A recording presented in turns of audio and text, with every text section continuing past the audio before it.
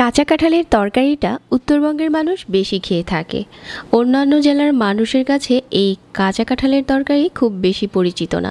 যারা এখনও কাঁচা কাঁঠালের তরকারিটা খাননি, চাইলে রেসিপি দেখে রান্নাটা করতে পারেন। কাঁচা কাঁঠালের তরকারির স্বাদ কিন্তু অসাধারণ। আপনি চাইলে যে কোনোভাবেই রান্নাটা করতে পারেন। আমি আমার রেসিপিটা আজকে শেয়ার করলাম। কাঁচা কাঁঠাল রান্নার জন্য প্রথমে ছোট একটা কাঁঠাল কেটে টুকরো টুকরো করে নিয়েছি। আর উপরের খোসাটাকে একটু মোটা করে ফেলে দিয়েছি। কাটার পর এগুলো ধুয়ে নিয়েছিলাম।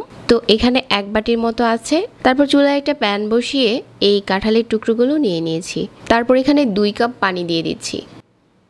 পরিমাণ মতো লবণ দিয়ে দিচ্ছি। আর দিয়ে দিচ্ছি এক চা চামচ হলুদের গুঁড়া। এগুলোর সাথে মিশিয়ে ঢাকনা দিয়ে ঢেকে কাঁঠালটাকে প্রথমে আমরা ভাপ দিয়ে নেব। কাঁঠালটা আপনি মাংসের সাথে রান্না করেন, মাছের সাথে রান্না করেন বা এমনিতেও রান্না করতে পারেন। রান্নার আগে অবশ্যই আপনাকে হলুদ লবণ দিয়ে সিদ্ধ করে নিতে হবে। আমি এখানে প্রায় কাঁঠালটাকে এইট্টি পার্সেন্টের মতো সিদ্ধ করে নিয়েছি। তো আমার এখানে এইট্টি পার্সেন্ট সিদ্ধ করা হয়ে গেছে, তারপর একটা স্ট্রেনারে নিয়ে পানি ঝরিয়ে নিয়েছি। এখন রান্নার জন্য চুলায় প্যান বসিয়ে ওয়ান ফুট কাপ সরিষার তেল দিয়ে দিচ্ছি। আপনারা চাইলে সয়াবিন তেল দিয়েও রান্নাটা করতে পারেন। সরিষার তেলের স্বাদটা ভালো আসে। তারপর হাফ কাপ পেঁয়াজ কুচি আর কিছু দিয়ে দিচ্ছি কাঁচামরিচ। এখন সরিষার তেলের সাথে পেঁয়াজটাকে ভাজতে হবে, যাতে করে পেঁয়াজটা কিছুটা নরম হয়ে আসে। পেঁয়াজটা যখন ভাজা হয়ে গেছে, এখানে বাকি উপকরণগুলো দিয়ে দিতে হবে। দিয়ে দিচ্ছি ছয় সাতটার মতো চিংড়ি মাছ একটা চামচ আদা বাটা আর হাফ চা চামচ রসুন বাটা। একটা চামচ দিয়ে দিচ্ছি মরিচের গুঁড়া। জালটা পছন্দ মতো চাইলে কম বেশি করা যাবে। হাফ চা চামচ জিরার গুঁড়া, এক চা চামচ হচ্ছে ধনিয়ার গুঁড়া।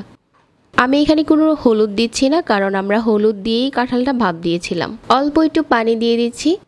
মাছের সাথে এই মশলাটা কষিয়ে নিতে হবে। এখন চাইলে রান্নাটা এভাবেও করতে পারেন। আবার যারা শুটকি খেতে পছন্দ করেন, চাইলে দুই তিনটার মতো শুটকি এখানে দিয়ে দিতে পারেন। শুটকি ছাড়াও কাঁঠালটা রান্না করা যাবে। তবে চিংড়ি মাছের সাথে শুটকিটা দিলে খেতে ভালো লাগে। যারা শুটকি খেতে পছন্দ করেন, তাদের ভালো লাগবে। আবার যা অনেকে আছেন, শুটকির গন্ধই শুনতে পারেন না, তারা চাইলে এটা অবশ্যই স্কিপ করবেন। তারপর এখানে স্বাদ মতো লবণ দিয়ে দিচ্ছি। এখন চিংড়ি মাছ, শুটকি আর মশলাটা একসাথে খুব ভালো করে কষে গেছে। সিদ্ধ করা কাঁঠালটা দিয়ে দিতে হবে। আর মশলার সাথে নেড়ে চেড়ে কাঁঠালটা কিছুক্ষণ কষিয়ে নিতে হবে। কষানো হয়ে গেলে এখানে এক কাপের মতো পানি দিয়ে দিচ্ছি। এক কাপ পানি দিয়ে ঢাকটা দিয়ে ঢেকে আবারও রান্না করে নিচ্ছি, যতক্ষণ না এই পানিটা শুকিয়ে যাচ্ছে। আর মাঝে মাঝে দু একবার নেড়ে দিতে হবে।